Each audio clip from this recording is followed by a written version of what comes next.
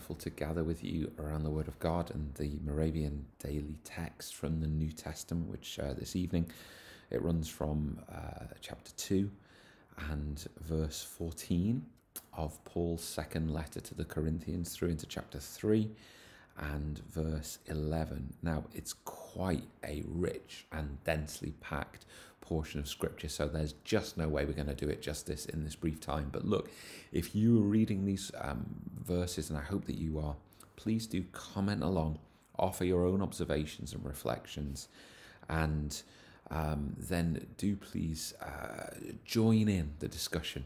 Uh, you might want to do so with others uh, from the church in your transformed communities and so on as you consider the riches of the Word of God. Um, look, yesterday we reflected a little bit upon some of the circumstances for, for the writing of this second letter to the church in Corinth and the, uh, the, the, the, pushback against Paul that was coming from certain factions. Um, and, and within the reading that we have today, um, Paul, at the beginning of chapter 3, as we have it, talks about um, commending oneself and letters of recommendation. Now, there's a heavy dose of sarcasm in this. He says, Are we beginning to commend ourselves again, or do we need, as some do, letters of recommendation to you or from you? And this clearly is something that Paul is addressing. He's not, you know, fashioning it out of his imagination. He's addressing some actual realities that certain uh, purported ministers of the gospel are attesting to their worth um, to local churches through letters of recommendation or requiring those letters of recommendation from churches. Is, does this seem to be a, healthy way? Um, well, I'm sure it doesn't seem to to you. It certainly doesn't to me. Paul here makes it really, really plain that actually uh, the, the, the, the testifying um, substance of our lives is not um, in some sort of kind of you know blurb on the back of the book of our of our existence. Um, what is true and substantial about you or me? Um, you know, do you need to, to to to pad out your CV, as it were, with a sense of who you think you ought to be, or who it is that you feel you need to be in order to gain the approval of others? Or is there something more substantial and indeed eternal to who you actually are? Do you have to commend yourself? Or are there other commendations of greater worth um, than that? And, uh, and the commendations that Paul is going to talk about here are those that um, allow for a sufficiency. You know, do you ever feel like you're not enough? There's a thing called imposter syndrome. I don't know whether you've ever come up upon it, uh, but people oftentimes in new roles in life or positions, um, they have this thing called imposter syndrome, which means that that nagging sense that at some point, somewhere along the line, someone's going to find you out and discover that you're not as good as you seem to be, or you're not up to snuff, or, or this or that or the other. I, I suspect we've all had that one way or another at certain points. Paul is making the case that we don't need to we don't need to pretend to sufficiency. We don't need to offer a level of competence or kind of just having the trappings of it. That there is a sufficiency, and it's dependent, surprise, surprise, upon Christ.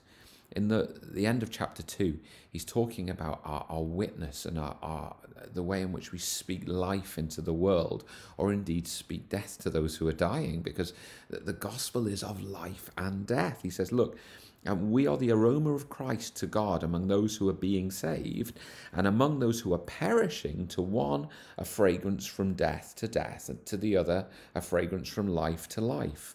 You know that eh, for those who are in Christ, there's an aroma of Christ. If you're not in Christ, well, there's a choice. Are you going to pursue the life of Christ? In which case, this gospel, it smells of life to you. If you're going to reject the life of Christ and pursue what the Bible teaches is death and decay, then this is the aroma of death to you. Um, and Paul said, Look, this is huge stuff.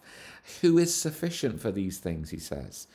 Um, he says, Look, we're not offering our own sufficiency. He says we're not we're not a peddler of God's word. You know somehow you know if we put a, enough of a fee on our services, then then somehow we're sufficient. No, he says look, the sufficiency is in our sincerity, our commission from God, and the fact that we are in His sight.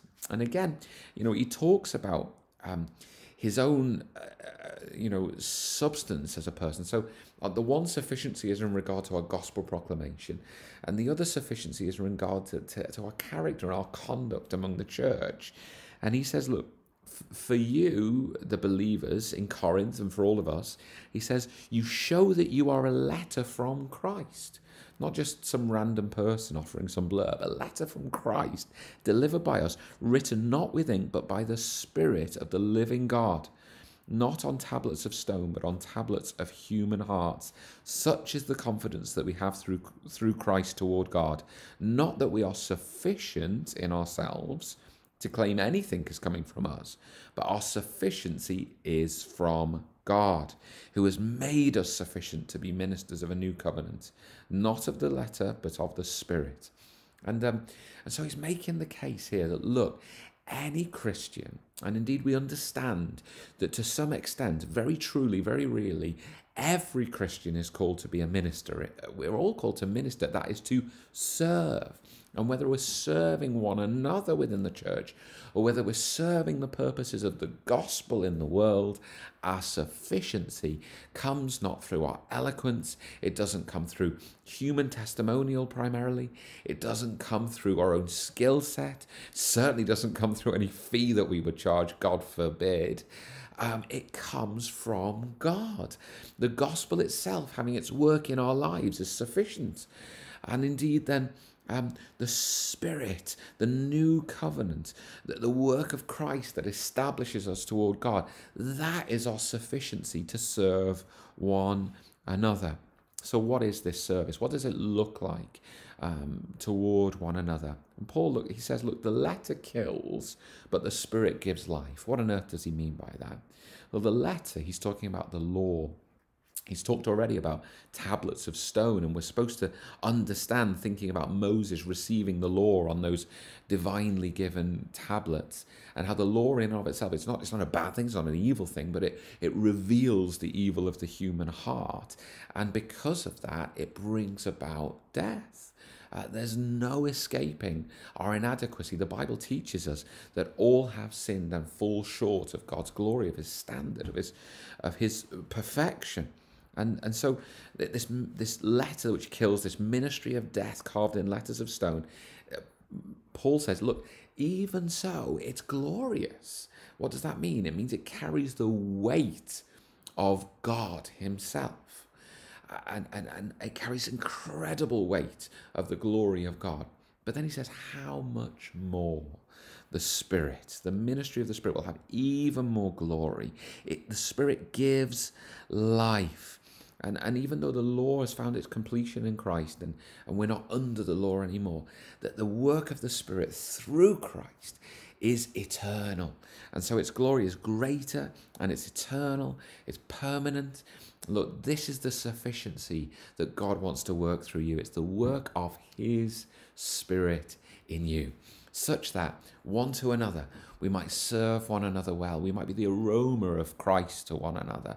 We might uh, enable one another to have lives that, that are letters of the work of God amongst us. Don't you want to accomplish this amongst uh, one another within the church? What a service that we could offer to one another.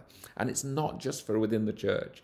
Look, the, the sufficiency, it overflows into the world such that um, to those who don't yet know Jesus, should they receive him, we can be, as it were, life to them, introducing them to the author of life. This is the sufficiency of God. This is why Paul elsewhere can say, I'm not ashamed of the gospel. Oftentimes, Christians, I think we would agree with Paul, we're not ashamed of the gospel. You know, it is life, it is glory. Uh, but sometimes we're ashamed of ourselves. We look at ourselves and we see ourselves as insufficient we have imposter syndrome. We wonder, oh, but what about when I said this wrong or I did that wrong? The sufficiency is not of your own making, it is the work of Christ in you for the good of his church and so that others might know that Jesus is good.